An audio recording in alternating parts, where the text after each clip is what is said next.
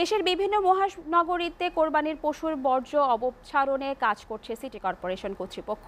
Rangpur city corporation এলাকায় কোরবানির পশু বর্জ্য অপসারণ কাজের উদ্বোধন করেন সিটি মেয়র মোস্তাফিজার রহমান মোস্তফা। দুপুরে নগরীর শাপলা চত্বরে তিনি ঘোষণা দেন, বারো ঘণ্টার মধ্যেই কোরবানির পশুর বর্জ্য অপসারণ করে পরিচ্ছন্ন নগরী উপহার দেওয়া হবে।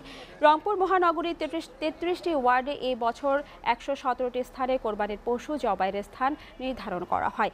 এসব স্থানে জমাকৃত কোরবানির পশুর বর্জ্য অপসারণে একশো বিশটি ট্রলি ও রিক্সা ভ্যান, সাতাশটি ডাম্প ট্রাক, তিনটি কম্প্যাক্টর ট্রাক ও একটি হুইল লোডার ব্যবহার করা হচ্ছে। এবছর বর্জ্য অপসারণে প্রায় এগারোশো পরিচ্ছন্নতা কর্মী কাজ করছেন। চট্টগ্রামে কোরবানি শেষে এখন বর্জ্য অপসারণ চলছে নগর জুড়ে।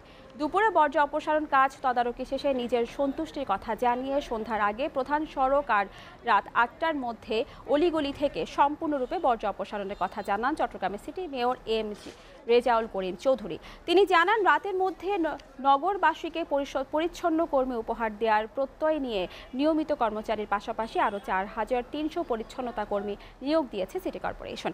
এছাড়া বর্জ্য পরিবহনের জন্য বাইরে থেকে তিন শতাধিক ট্রাক ছাড়া ভাড়া করা হয়েছে।